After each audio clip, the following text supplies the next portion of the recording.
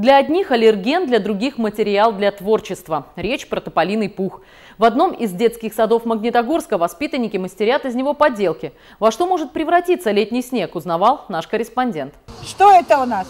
Пух. Пух, пух какой? Белый. Белый еще. С какого дерева? Стополя. Пушистый, мягкий и белоснежный тополиный пух начинает клубиться на улицах еще в июне, оседает на асфальте. Тут-то его и подхватят маленькие воспитанники. Для них эти перины уже не источник аллергии, а будущая поделка. Кто?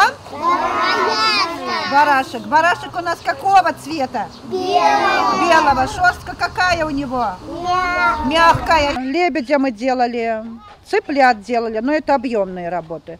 Аппликации всевозможные, котята. Объемные более сложно, потому что их нужно соединить еще с другим природным материалом. Шишки, пластилин, какие-то детали для глаз, для рта, клюва. Барашки, облака и даже снеговики. Мастерят из природного материала все белое и мягкое. Технология проста. Собранный пух ребята уплотняют и наклеивают на лист бумаги. Сначала идею опробовали сами педагоги. Задумка удалась и к творческой работе подключили воспитанников.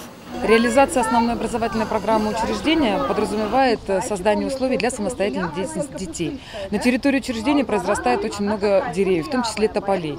Когда мы увидели в июне месяце, какое количество тополиного пуха у нас, у нас возникла идея, что условия создались сами собой. И надо эту идею обязательно реализовать. В детсаду уверены, такая борьба с пухом куда интереснее и эффективнее. К слову, экологи отмечают, один тополь выделяет столько же кислорода, сколько 10 берез, 4 сосны или 3 липы. А за сезон дерево забирает из воздуха 20-30 килограммов сажи и пыли.